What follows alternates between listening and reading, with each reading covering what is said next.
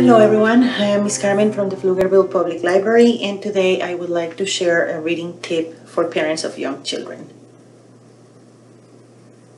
I am sure that most of you are often faced with the dilemma to whether or not allow your little ones to pick up the books that they are going to read next.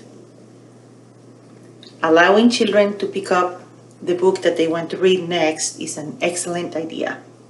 It fosters the love of reading and it makes them very independent. And it may prevent some tantrums.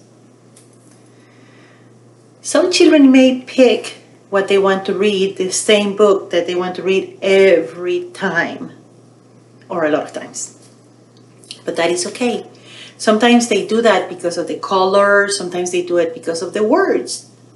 Yes, sometimes they memorize the text, and when you are reading it to them, they think they are reading. But that is okay because that's what we want. We want to make them good readers and we want them to enjoy the time that they spend with you reading books or talking about them. Thanks for watching my video. Happy summer, everyone.